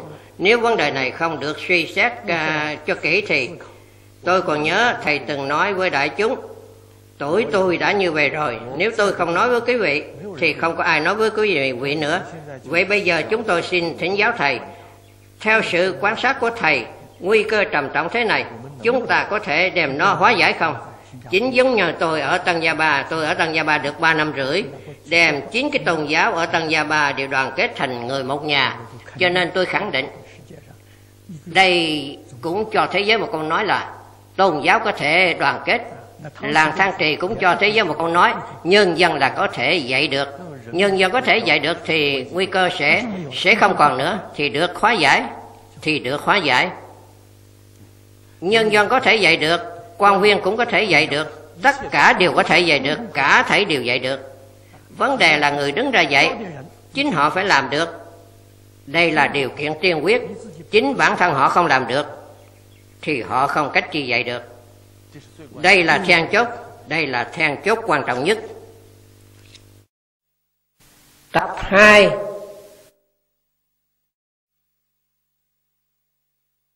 Con người từ khi còn là đứa bé bắt đầu, mãi cho đến lúc sinh mạng kết thúc, họ không ngừng suy nghĩ một vấn đề. Ta từ đâu đến? Ta là ai? Ta phải đi về đâu? Cũng vậy, một quốc gia, một dân tộc cũng cần phải giải đáp vấn đề này. Nếu không thì họ sẽ không thể xác định vị trí của mình cùng phương hướng phát triển ở tương lai. 11 năm về trước, Trung Quốc có 9 vị đại hiền đại đức gồm có như Ngài Triệu Bọc Sơ cùng nhau đề ra một đề án 016. Trong đề án này, họ kêu gọi khẩn cấp nền giáo dục của tư tưởng truyền thống giá trị quan của Trung Quốc. Họ nói rằng tư tưởng truyền thống và giá trị quan là kết tinh trí tuệ của dân tộc chúng ta Kinh điển truyền thống là chất truyền tải khổng lồ của tâm hồn dân tộc. Đây là y cứ sự sinh tồn và phát triển của dân tộc chúng ta. Dân tộc chúng ta mấy ngàn năm nay là sức đoàn kết của bao nhiêu lần tai nạn mà chẳng tan rã. Nếu cứ để mặc cho di sản văn hóa bị đời sau tiêu diệt, chúng ta sẽ trở thành tội nhân của dân tộc, tội nhân của lịch sử. Mọi người kỳ cầm quyển sách xưa mà không hiểu chi cả, thì có lỗi với liệt tổ liệt tông. Trung Quốc có lỗi với nhân dân thế giới, có lỗi với nhân loại. 11 năm đã trôi qua, như cụ Triệu Bộc Sơ, những người đại biểu cho lương tâm dân tộc, nối tiếp nhau lìa, lìa đời, mà những vấn đề kia vẫn còn ở đó. Giờ đây chúng ta hãy lấy trí tuệ và dũng cảm đưa ra đáp án thật hay. Dân tộc Trung Hoa đã đến lúc phải nhận tổ quy tông. Vô cùng cảm ơn Thầy đã nhận lần phỏng vấn này của chúng tôi. Thầy vào thế kỷ trước, thời kỳ thập niên 30-40 trải qua cuộc kháng chiến. Lúc đó Thầy mới mười mấy tuổi. Lúc bây giờ Trung Quốc đối diện nguy cơ mất nước diệt chủng. Toàn dân tộc không còn nữa, mọi người đều là kẻ nô lệ, không còn là người Trung Quốc, không còn là truyền thống của mình nữa. Vốn liếng của chúng ta tòng 8 năm đó, lúc đó Trung Quốc chúng ta máu chảy thành sông, xương trắng đầy đồng, đấu tranh quyết tử, sau cùng chúng ta ở lại, chúng ta giữ được mạng mạch của chúng ta, giữ được tư cách làm người Trung Quốc của chúng ta. Nhưng hiện nay đi trên đường phố tôi hay nghĩ đến một vấn đề, ngày nay đồng bào trong nước chúng ta, đặc biệt là nhóm thanh niên, ngoài việc họ nói tiếng Hoa, à, và tiếng mẹ đẻ của họ là tiếng Hoa, viết chữ Hoa. Ngoài việc thẻ căn cước của họ chứng minh họ là người Hoa, làm sao có thể chứng minh họ là con cháu Trung Quốc, làm sao biết họ là người Trung Quốc truyền thống, cái gì có thể chứng minh được. Nếu như lịch sử văn hóa truyền thống của ta chúng ta bị mất đi thì dân tộc này sẽ diệt vong. Điều này vô cùng đáng sợ. Chánh quyền mất đi không sợ. Như Trung Quốc chúng ta vào triều nhà Nguyên Chánh quyền của chúng ta là ở trong tay người Mông Cổ, nhưng văn hóa của chúng ta chẳng có tiêu diệt. Sau khi mãn thành nhập quan, chánh quyền của chúng ta cũng bị mất. Chẳng những người mãn thành cũng chẳng có tiêu diệt nó mà còn phát dương quan đại mạnh mẽ. Sau cùng mãn thành cũng bị đồng hóa, cũng trở thành dân tộc Trung Hoa. Cho nên muốn tiêu diệt một quốc gia, quan trọng nhất là đem lịch sử văn hóa của nó tiêu diệt thì linh hồn quốc ờ, quốc gia này không còn nữa còn lại chỉ là phần xác đây là việc vô cùng đáng sợ giới trẻ sẽ nói không sao tôi có tiền có tiền vẫn vô dụng. Có tiền, nước nhà không giữ được. Nước nhà không giữ đổi. Vả lại, trên trường quốc tế không có địa vị. Anh có tiền nhiều hơn đi nữa. Người ta vẫn coi rẻ anh, không tôn kính anh. Nói cách khác sự tôn trọng làm người của anh không còn mất hẳn. Điều này không phải tiền bạc có thể mua được. Cho nên điều này cần phải biết, sau khi nếm đủ mùi gian khổ, họ đã biết hối hận cũng không kịp nữa. Trong cuộc kháng chiến chống nhật, có phải phần nhiều người trung quốc đều cảm thấy nguy cơ này không? Vâng lúc kháng chiến, khi sức sống tràn đầy, chúng ta cũng có thể khẳng định trung quốc không mất nước. Để bảo vệ quốc gia chúng ta, các anh em ở truyền tuyến đang vào sanh ra tử, liều mạng sống của họ, dân tộc trung hoa an toàn được một giờ, đều là đổi bằng máu của ờ, những chiến sĩ tiền tuyến.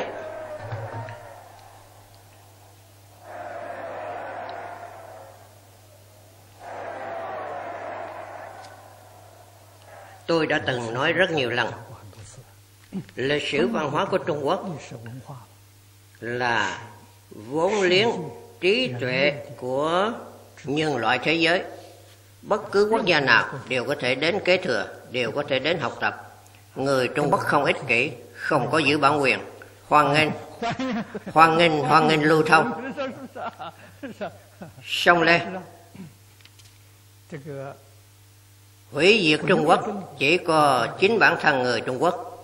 Bản thân đối với di sản của tổ tông hoài nghi vứt bỏ thì đó là hủy diệt. Sức mạnh bên ngoài không có khả năng đó. Điều ngày này ngay cả người quả quốc cũng đều thừa nhận hiện nay hiện đại hóa phát triển nhanh chóng. Trung quốc ở giữa cả thế giới là một quốc gia sơ ra đặc biệt hơn. Tỷ như nói ấn độ bị nước anh đô hộ hơn 200 năm nhưng trên 95% người vẫn còn tín ngưỡng của họ. Họ vẫn còn à, giáo đồ ấn độ của họ. Tân gia ba quốc phụ là lý quang diệu. Ông lấy tư tưởng nho gia truyền thống để quản lý, để cải tạo, để sáng lập Tân Gia Ba. Còn có Hàn Quốc Cùng các nước Á Châu khác thì không cần nói nữa. Hiện nay, nhiều quốc gia có lối phán đoán thế này. Nói Trung Quốc đã trở thành một quốc gia duy nhất trên toàn thế giới đã vứt bỏ văn hóa truyền thống của quốc gia mình. Đúng vậy, chính mình đã vứt bỏ mình một quốc gia nhất như vậy. Cách phán đoán này thầy có đồng ý không? Cách phán đoán này tôi đồng ý. Đây là vô cùng bất hạnh. Cho nên chúng tôi hiện nay hy vọng Nhật Bản và Hàn Quốc có thể kế thừa truyền thống của Trung Quốc. Thì tương lai văn hóa Trung Quốc trên toàn thế giới vẫn có thể phát dương quang đại. Thầy thấy Tân Gia Ba thế nào? Ông Lý Quang Diệu Tân Gia Ba cũng rất hối hận. Ông ta tiếp thu nền giáo dục nước Anh, không hoàn toàn tiếp thu văn hóa Trung Quốc.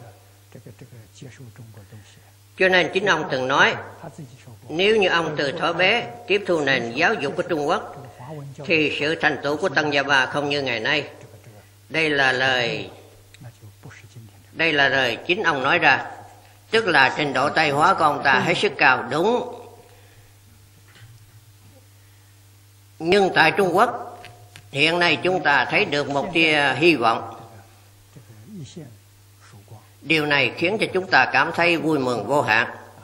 Tức là điều mà ông Hồ Cẩm Đào đề ra, hòa hài xã hội cùng hòa hài thế giới, đây là truyền thống của Trung Quốc. Vậy bây giờ phải làm, chẳng phải không có biện pháp khôi phục, mà là rất dễ. Rất dễ sao? Rất dễ. Phải làm cái nào đây? Ngày nay không còn nhờ vào quân đội quân đội vô dụng. Hiện nay quân đội có nhiều hơn đi nữa, phi đạn nhiều hơn đi nữa, một trận chiến là toàn bộ hủy diệt hết. Hiện nay quân đội đã không còn là hậu thuẫn nữa, Là chiến tranh ngầm. Không có cự ly. Cái này rất đáng sợ. Ngày nay phải dùng thành phần nào đây? Đó là giáo sư. Là giáo sư. Đúng. Trong tay anh thật sự có được 30 đến 50 giáo sư. Chẳng những cứu được Trung Quốc Mà còn cứu được cả thế giới. Tức là 30 vị khổng tử thật sự 30 vị thích ca mâu ni Phật thật sự Thì hết chỗ chê chỉ cần có thành phần này hàng ngày chỉ ở trong tu hình à, trong phòng tu hình lên lớp dạy học. Những vị lãnh đạo quốc gia thân hành đến đó để nghe toàn bộ phát sinh ra cho người cả nước xem. Thấy những vị lãnh đạo đều đang tiếp thu à, giáo dục truyền thống của Trung Quốc thì tức khắc ảnh hưởng dân chúng toàn nước đều đến học tập. Chỉ cần một năm thì trật tự của Trung Quốc liền được khôi phục bình thường. Chỉ đơn giản như thế anh phải biết dùng không biết dùng không được phương tiện hay như vậy, tại sao không dùng nó? 30 đến 50 giáo sư là đủ rồi đủ rồi.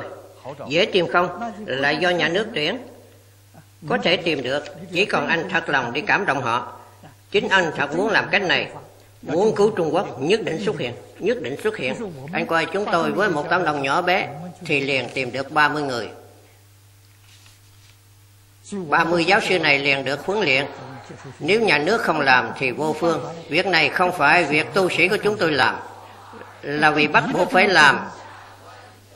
Cho nên mục tiêu cuối cùng của chúng tôi, Tuổi tác đã lớn thế này, Coi có thể sống được 10 năm nữa không? Nếu sống được 10 năm, Lại giúp cho quốc gia làm thêm 10 năm. Cho nên tôi rất muốn, Vốn làm tại Lệ Giang, Tôi đã xem qua, Muốn lập một thư viện Hán học ở Lệ Giang. Tôi đến bồi dưỡng 30 vị nho gia. 10 vị đạo gia 10 vị Phật gia. Tôi muốn bồi dưỡng 50 người. 50 người chúng tôi ở một khu nhỏ. 10 năm không ra ngoài, giống như bế quan vậy ở nơi đó giảng dạy đàng hoàng, học hành, tu thân, dưỡng tánh. Mỗi người học một môn thì có được 50 môn. Mỗi người chuyên môn học một môn, chuyên học một môn được 10 năm thì trở thành nhân vật có uy tín thế giới chuyên nghiên cứu luận ngữ thì là chuyên gia luận ngữ. Chuyên nghiên à, chuyên nghiên cứu mạnh tử là thì chuyên gia mạnh tử. Chuyên gia châu lễ thì là chuyên gia châu lễ. Phật giáo thì chọn 10 bộ kinh. Đạo giáo 10 bộ kinh. 10 năm bồi dưỡng 50 người Thì thiên hạ sẽ được cứu. Chúng tôi cũng không cần bằng cấp. Tại sao? Đến lúc đó người ta sẽ đem bằng cấp tặng cho anh. Tôi tốt nghiệp trung học. Trong thời kháng chiến, vô phương tiếp tục học nữa, thành học sinh lưu vong chạy khắp nơi. Kháng chiến 8 năm tôi đã chạy hết 10 tỉnh, chạy bằng đôi chân này. Ba cái bằng bác sĩ của tôi hiện nay là người ta tặng cho tôi đó.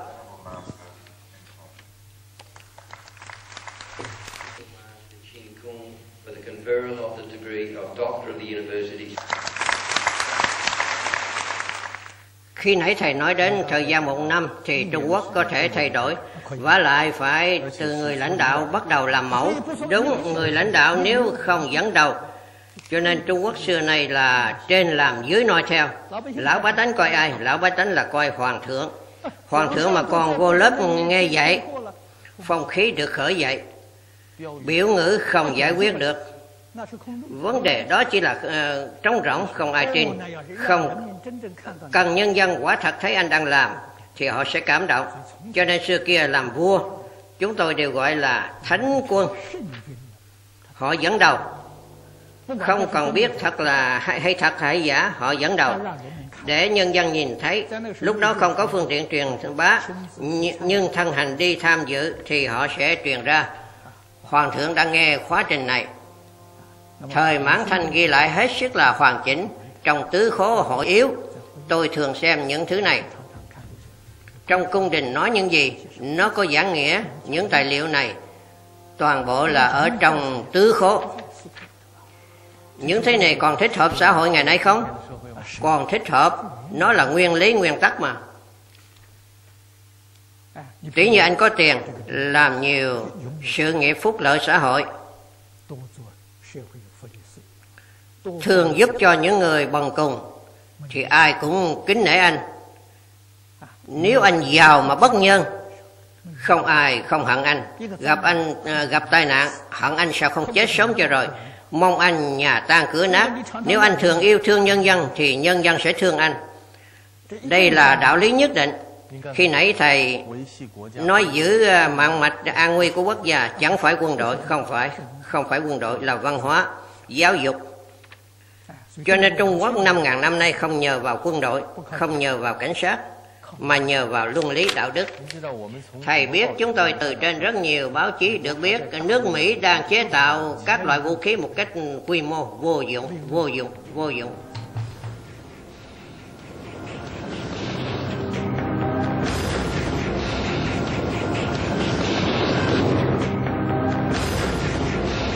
Hãy subscribe vô điều. Hiện nay mọi người thông thường đều có cảm giác rất mãnh liệt, tức là sự xa lạ và lạnh nhạt giữa người với người. Nếu đi ngược lại 100 năm, khi chúng ta đi trên đường phố, mọi người đều là đồng bào con em rất thân. Không cần lui lại 100 năm, ngay giữa thời kỳ kháng chiến, thì anh có thể thấy được. Chúng tôi không luận đi đến địa phương nào, đều có người xa lạ. Người địa phương tiếp đãi rất thân thiết. Họ đem đồ ăn, đồ dùng đến tặng cho anh. Chúng ta không đi xin họ mà họ tự động đem đến. Coi anh là một người cô đơn, khổ sở với nét khổ nạn. Đều giúp cho anh. Hiện nay không còn nữa. 30 năm trước, Lần đầu tiên tôi đến Hồng Kông giảng kinh. Phong khí xã hội lúc đó đã tệ rồi, Nhưng nếu hỏi đường, Vẫn có người chỉ đường cho anh. Nay thì không còn nữa. Mọi người đều không có quan điểm tán đồng. Trung Quốc có một quốc sư đại à, quốc học đại sư tên là Lương Thấu Minh. Ông nói không còn tánh khí của người Trung Quốc nữa. Thời gian như vậy, thầy nói 80 năm, có những chuyên gia nói 100 năm, tánh khí của người Trung Quốc đã mất thời gian dài như vậy. Hiện nay có một lối phán đoán là đồng bào một nước ngày càng xa lạ, lạnh lùng, và lại mất đi quan điểm tán đồng. Giữ liên hệ với nhau chỉ là tiền bạc và quyền lợi. Con đường này phải chăng không thể đi được lâu nữa? Không thể đi được lâu nữa. Cho nên anh thật sự muốn giữ được trị an lâu dài. Ngoài giáo dục ra không còn chi khác. Trên toàn thế giới, nói đến giáo dục, thì người trung quốc rất hiểu biết về giáo dục. Chúng ta bàn về hóa giải nguy cơ. Thầy có cho rằng người trung quốc có đủ ưu thế lớn nhất ờ, để hóa giải nguy cơ chăng? Đúng đúng như vậy, đúng vậy. Tuy truyền thống của chúng ta đã bị mất, cách ờ, nghĩ của tôi là 80 năm 80 năm. 80 năm tức là ba đời, không dài và cũng không ngắn. Cho nên muốn cứu thì gấp rút đi cứu. Nếu qua thêm 10 năm 20 năm thì không còn cứu được nữa. Vậy chúng ta tiếp tục nhìn lại một lịch sử 100 năm. Có một câu nói là mấy ngàn năm chưa từng có biến động lớn lao. Lịch sử Trung Quốc chưa từng có tình trạng này. Từ 1900 bắt đầu, cuộc cách mạng Tân Hợi đánh đổ ờ, chế độ đế quốc kể đến 54 đánh đổ khổng gia điếm lật đổ tư tưởng nho gia mạnh mẽ đề xướng khoa học và dân chủ lại còn có nội chiến và kháng chiến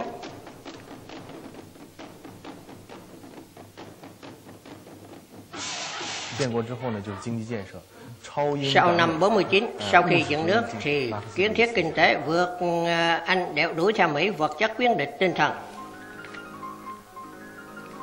从八零年 Từ 到 năm 现在 80 đến nay, phải kiến thiết kinh tế 100 năm là một quá trình như vậy. 100 năm này có thể nói là hai tuyến đường đang quán xuyên lịch sử chúng ta. một đường là tinh thần truyền thống bị tàn phá đến cực độ. còn một đường là khoa học kỹ thuật phát triển một cách nhanh chóng. Từ năm 80 đến nay Trung Quốc có đến à, thời gian 20 năm không ai đề cập đến nguy cơ tín ngưỡng nữa. Mọi người hiện nay à, đang bị một loại quan niệm thống trị tư tưởng, kinh tế và lợi ích quyết định tất cả. Có tiền là có tất cả. Đây là quan niệm và giá trị quan của mọi người. Nhưng những thứ này từ trước đến nay chưa từng có, người Trung Quốc chưa từng có lịch sử này. Vấn đề à, xin thỉnh giáo thầy là muốn xây dựng một hệ thống giá trị mới, phải chăng không thể được? Cần phải trở về hệ thống giá trị 100 năm về trước không? không thể được. Không thể được. Chúng ta nhất định phải thừa nhận trung quốc năm ngàn năm nay. Trí tuệ của chúng ta có thể vượt hơn họ không? Nếu thật sự có thể vượt hẳn khổng tử, vượt hẳn mạnh tử, vượt hẳn lão tử, vượt hẳn thích ca mâu ni phật thì được. Nếu không vượt hơn họ thì anh phải học cái của họ. Nếu là một đại thánh nhân xuất hiện tại thế gian, nhất định là yêu người đời. Thượng đế là yêu người đời. Thượng đế chẳng có giết người đời, chẳng có hận người đời, chẳng có. Cho nên là giáo dục của Thánh Hiền, tóm lại mà nói, tức là một chữ ái. Tất cả tôn giáo trên thế giới cùng một trung tâm, tức là ái. Cho nên tôi đoàn kết các tôn giáo, tôi có niềm tin. Vì sao? kinh điển của mỗi tôn giáo đều nói thương người, không có nói ghét người. Muốn xây dựng một à, hệ thống giá trị mới, cái giá phải trả rất cao. Chủ yếu là họ chưa tìm được sự hòa hài của nhân tánh. Phải tùy thuận nhân tánh mới được. Nếu đi ngược lại nhân tánh, đem một cái mới đặt vào. Tỉ như trái tim của anh còn rất khỏe. Bây giờ mổ lấy ra, đặt vào một trái tim nhân tạo cho anh. Cái này không bình thường. Đây là việc vô cùng khó khăn, Và lại chắc chắn thất bại. Giá trị rất cao, Cuối cùng thất bại. Chắc chắn là không được. Nhân tánh là gì? Nhân tánh tức là luân lý. Có ai mà chẳng hy vọng cha quan hòa mục Anh em thương yêu nhau. Giữa người với người, Có được chân tình qua lại? Ai chịu đi lừa người? À, Ai chịu đi làm những việc hại người lợi mình. Đây là điều là lương tâm mê muội Làm những việc xấu ban đêm nằm ngủ Lương tâm cũng bất an. Đây mới gọi là chân lý. Chúng ta hãy thử xem lịch sử của Trung Quốc. Mấy ngàn năm nay đem giá, giá trị quan của một uh, dòng giống dân tộc của chúng ta triệt để đoạn tuyệt vứt bỏ hoặc giả là phủ định. Chỉ có mấy lần tôi xin đọc ra đây. Sớm nhất là Tần Thị Hoàng đốt sách chôn sống nhà nho, đọc tôn Pháp gia, đem khổng mạnh đoạn chuyện mất. Mấy mươi năm thì mất nước, về sau còn có người Nguyên, người Mông Cổ thống trị Trung Quốc. À, không tin tưởng chủ trương nhà nho cũng hơn 100 năm là kết thúc. Lần sau cùng là cách mạng văn hóa chỉ có thời gian 10 năm triệt để đem những gì của Trung Quốc à, từ tư tưởng tinh thần toàn bộ đều hủy diệt hết lịch sử hơn 2.000 năm phải chăng có thể chứng minh bất cứ kẻ chấp chánh nào, bất cứ người đưa giải pháp nào, bất kể đảng phái nào, tín ngưỡng gì cũng cần phải phục tùng mạng mạch truyền thống của Trung Quốc? Bằng không thì rất rắc rối bởi vì đây là tự nhiên. Con người nhất định phải phục tùng tự nhiên. Nếu trái nghịch với tự nhiên muốn tìm một cái vật gì đó để thay thế tự nhiên thì hết sức là khó khăn. Tỉ như khoa học kỹ thuật ngày nay, nó đi ngược lại với tự nhiên. Muốn thay thế tự nhiên, muốn chinh phục tự nhiên, thì cái giá phải trả sau cùng là trái đất này sẽ hủy diệt. Tôi ở nước ngoài thấy được phần khoa học báo cáo nói trên địa cầu việc này đã xảy ra mấy lần. Lần trước là A. Đặc Lan Đế Tư, khoa học kỹ thuật lúc đó phát triển so với bây giờ tiến bộ hơn nguồn năng lượng lúc đó là từ trên thái không lấy ra. Máy bay tàu bè là dùng năng lượng của thái không. Không ô nhiễm không ờ, có, có tiếng động. Nhưng loại của tin có khoa học thì có thể chinh phục tự nhiên. Đến sau cùng cả ờ, trái đất chìm sâu dưới đáy biển đại tây dương. Chỗ đó gọi là đại tây quốc cho nên chìm xuống gọi là đại tây dương. Nhưng hiện nay tình trạng khoa học, kỹ thuật vâng, vâng, phát vâng, triển gần giống như tình cảnh lúc đó. Khi đến điểm bộc phát, thì vỏ trái đất này nhất định sẽ thay đổi. Có người sẽ hỏi thầy vấn đề này, vỏ trái đất biến đổi, nước biển biến đổi, điều này cùng đạo đức có liên quan gì không? Có liên quan, có liên quan. Tức là giống như lần thực nghiệm nước, nói đó, vì sao? Vì vật chất là từ lòng người thay đổi. Nhục thể của chúng ta là vật chất lòng người lương thiện có thể đem những tế bào bệnh hoạn khôi phục bình thường cho nên lấy ý niệm để trị bệnh là cao minh nhất y theo phương pháp này của thầy để trị quốc để sống chung với mọi người thì vỏ trái đất có thể thay đổi có thể thay đổi đúng vậy có thể khôi phục bình thường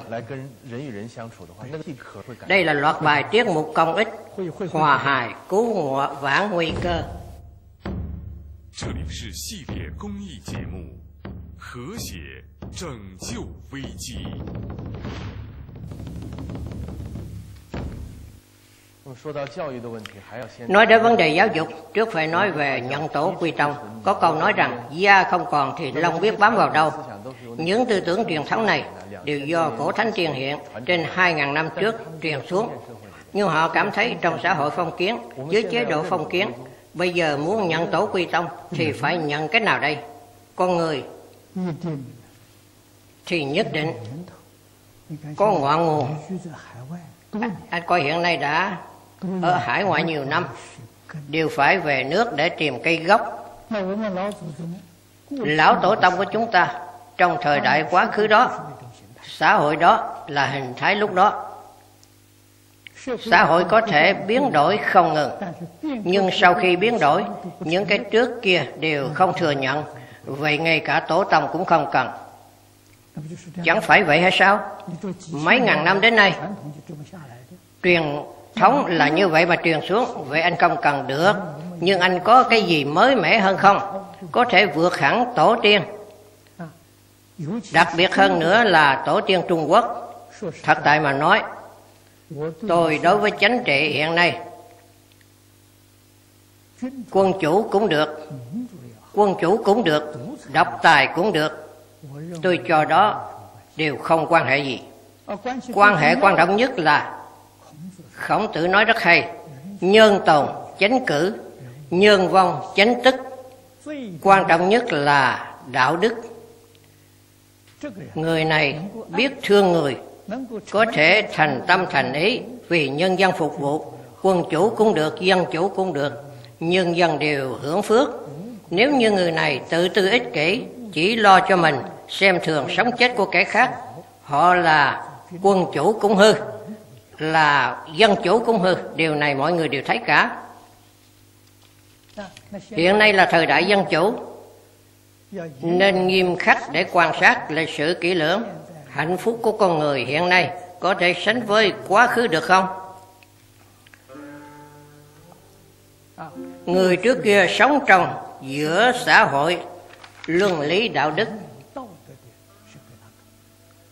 Sống trong giữa cảnh đẹp đầy ý thơ. Hiện nay con người sống đó chẳng phải đời sống của con người.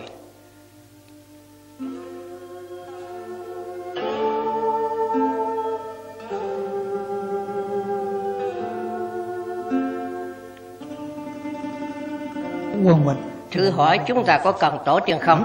Quay đầu lại để hỏi chúng ta có cần cha mẹ không? Không còn tổ tiên thì có thể không cần cha mẹ. Cha mẹ nuôi đứa bé này tương lại nó không cần ăn. trên logic có thể suy ra được đúng. Nhận tổ quy tông là thiên hạ đại trị. Hạnh phúc mỹ mãn là một con đường sống duy nhất Nay ngay cả tổ tông không cần nữa, Cha mẹ không cần nữa, Thì họ ngay cả cầm thú cũng không bằng. Họ muốn sống một đời Sống hạnh phúc mỹ mãn. Đó là họ đang nằm mơ. Thế giới ngày nay, Chúng ta không nói Trung Quốc, Mà nói ngoại quốc. Tôi sống ở nước ngoài thời gian dài. Anh coi những người Có tiền của, Có địa vị họ không vui. Họ không có hạnh phúc. Cho nên vấn đề liền xảy đến. Những nước khoa học kỹ thuật tiên tiến âu mỹ hiện nay đã đi đến đường cùng. Đã đi không thông nữa rồi. Vấn đề gì cũng đều xảy ra. Cho nên phải đến phương đông để tìm của báo. Họ đến trung quốc đến ấn độ. Tuyệt đối chẳng phải tìm Trung Quốc hiện nay, Ấn Độ hiện nay. Họ muốn tìm Trung Quốc cổ xưa, Ấn Độ cổ xưa. Chúng ta không nhận tổ quy tông. Còn họ thì hướng về tổ tông của chúng ta để cầu trí tuệ, để cầu phương pháp giải quyết vấn đề phải biết Á Thái rất nhiều quốc gia đều tuân theo giáo dục truyền thống của nhà Nho để trị quốc an bang. Vậy là đem lão tổ tông của chúng ta nhận đi mất. Đúng, không sai, chúng ta không cần, còn họ thì kế thừa. Vì văn hóa thật tại mà nói không có phần quốc giới là không có giới tuyến. Nhưng đáng nhận nhất là chính chúng ta Thì đã nói chính mình không cần Còn người ta cần, sau khi họ cần Thì thuộc về họ ai cần thì tôi đến đó. Đó là lão tổ tông của chúng ta. Họ muốn nhận lão tổ tông của chúng ta làm tổ tông, thì họ tức là con cháu của viêm hoàng. Còn tôi cũng là con cháu của viêm hoàng, đương nhiên có thể hòa một sống chung. Đây là hiện tượng trước mắt. Cho nên ở trung quốc thuở xưa, bất cứ ai dưới chế độ hoàng đế sau khi đế vương nắm giữ chính quyền, việc lớn nhất là tế thái miếu, đề sướng hiếu đạo, không quên cái đức của tổ tông. Quý vị ngày nay anh có được từ đâu đến là đức hạnh của tổ tông tích lũy mà anh đang thụ hưởng. Anh có thể được địa vị, có được ờ, phú quý, đem tổ tông quên mất, nên anh thọ hưởng sự phú quý đó Chẳng được mấy ngày thì hết sạch. Tế Thái Méo là người lãnh đạo quốc gia làm gương cho toàn thể ờ, quốc dân. Đúng làm gương mẫu. Quỳ. Nhất khấu đầu. Tái khấu đầu. Tam khấu đầu. Cho nên Trung Quốc chẳng có tôn giáo gì cả Cả thế giới đều thấy lạ lùng Người Trung Quốc chẳng có quan niệm tôn giáo gì cả nhưng người Trung Quốc thì té tổ tông. Có một lần, vị hiệu trưởng trường à, đại học à, Queensland mời tôi dùng cung có một vị à, giáo sư nói người Âu Châu đã từng nghiên cứu bốn nước văn minh cổ xưa trên thế giới. Và nước đã mất. Tại sao Trung Quốc vẫn toàn còn tồn tại? Họ nghiên cứu đến kết luận sau cùng. Có thể là vì người Trung Quốc vì lý do coi trọng sự giáo dục gia đình. Cách trả lời này khiến tôi vô cùng tán đồng. Tôi nói hoàn toàn chính xác. Vì Trung Quốc hiện nay tại sao trở thành ngay cả tổ tông đều không cần là vì giáo dục à, gia đình không còn nữa. Nói đến giáo dục trên toàn cầu, bất cứ một dân tộc nào, Trung Quốc là đệ nhất. Dân tộc này là đệ nhất, biết cách giáo dục, có trí tuệ, có kinh nghiệm, có phương pháp, có hiệu quả của 5.000 năm. Nhưng hiện nay chúng ta không còn thái miếu nữa, từ đường không còn nữa, gia phả không còn nữa, vậy chúng ta phải làm sao đây? Giữ vững dân tộc Trung Quốc an định hòa bình, hạnh phúc mỹ mãn là nhờ ba cái này. Cái thứ nhất là từ đường. Từ đường là cái gốc. Tìm cái gốc, từ đường là gốc anh có thể biết gia phả của mình. Từng đời từng đời truyền xuống, thì họ làm sao không yêu gia đình? Nếu như từ từ đường không còn nữa, gia phả không còn nữa, không biết quá khứ, thì họ muốn yêu gia đình cũng không thể được. Đến lúc đó, trở thành ra sao? Trở thành hoàn toàn là lợi hại. Nơi nào có lợi thì tôi đến đó. Người ta cho tôi nhiều tiền một tí thì tôi gọi họ là cha. Trở thành như vậy đó. Tức là không nhận tổ tông của chính mình, không nhận. Có câu, yêu tha thiết tổ quốc, Yêu tha thiết nhân dân. Làm sao nói được? Không nói được vì anh ngay cả tổ tông không cần nữa, cha mẹ cũng không cần, mà nói yêu nước đó là giả. Nói người, yêu người lãnh đạo cũng là giả nốt, tuyệt đối không phải thật, vì họ không có cái gốc. Cái gốc đó là phụ tử hữu thân, chữ thân ái. Cho nên, nguyên khởi của nền giáo dục Trung Quốc tức là một câu luân lý này mà hưng khởi. Mục đích của sự giáo dục là hy vọng quan hệ giữa cha con trong một đời này vĩnh viễn bảo trì không biến chất. Mục đích của nền giáo dục Trung Quốc chúng ta là ở tại chỗ này cùng người Tây phương khác hẳn. Mục đích thứ hai là hy vọng phụ tử hữu thân, tình thân ái này có thể mở rộng yêu gia đình yêu gia tộc yêu láng giềng đồng hương. Yêu xã hội yêu tổ quốc yêu nhân loại. Phật pháp lại tiến thêm một bước yêu tất cả chúng sanh. Là từ cái gốc này sinh ra. Nếu không có cái này phía sau toàn là mất hết. Đây là căn nguyên chung. Trung thần hữu tự cũng là chỗ này. Tham quan ô lại cũng tại chỗ này. Nếu anh không cần cái gốc này thì xấu xa liền đến mặt phụ liền đến. Đây là điều thứ nhất của trung quốc để duy trì à, quốc gia này. Cái thứ hai là khổng miếu. Đó là gì?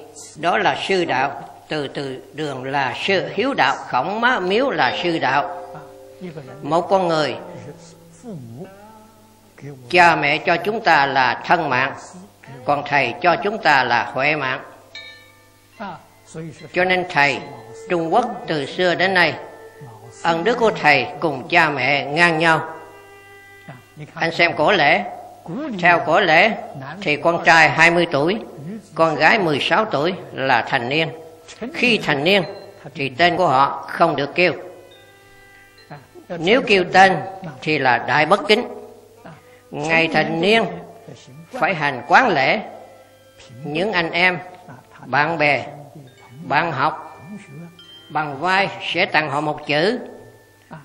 Về sau mọi người đều gọi chữ ấy không gọi tên.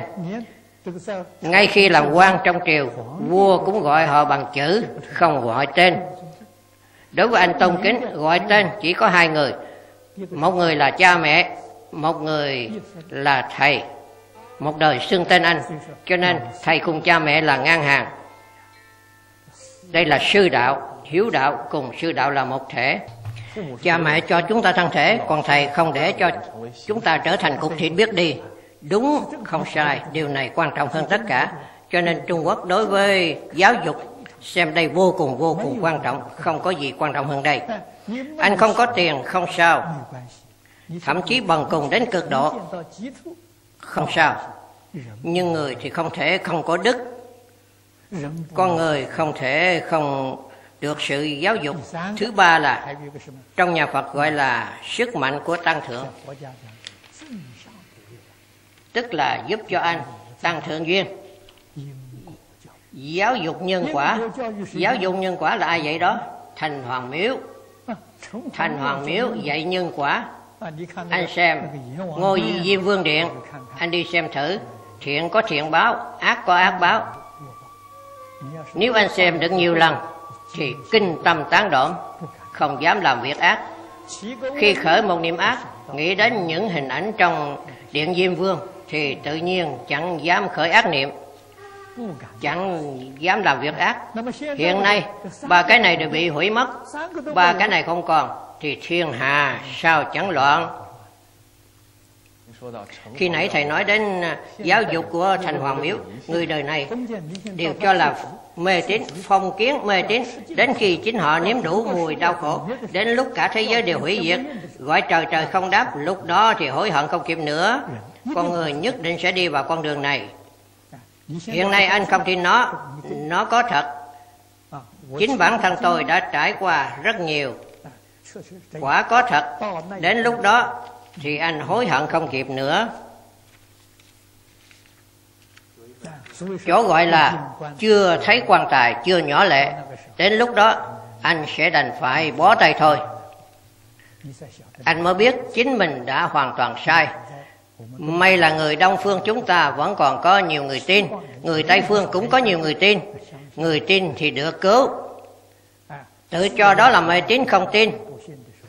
Sau cùng, họ có người nào có nhân quả nấy, điều này chắc chắn chẳng có cách gì trốn thoát.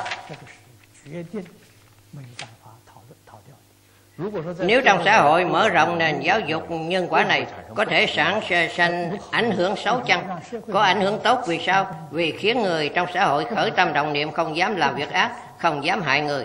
Đây là việc xấu hay sao? Chẳng lẽ cần người không tin nhân quả tìm mọi cách hại người, giết người, mua đoạt tài sản của người. Đây là việc tốt hay sao?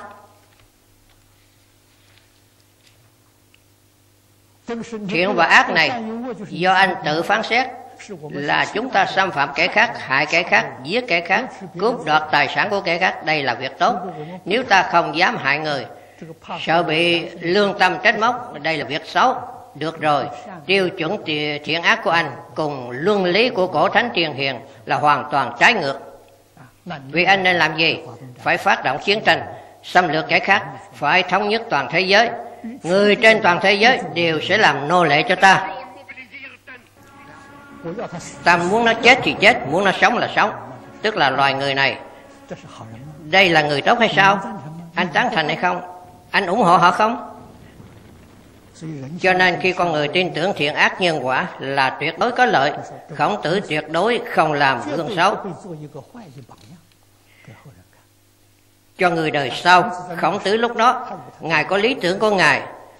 Thật muốn vì nhân dân phục vụ, chỉ cầu một chức phận nhỏ, nhưng người ta không cho ngài. Ngài có thể làm cách mạng không? Có thể chứ. Ngài có khả năng, học trò của ngài các hạng nhân tài đều có.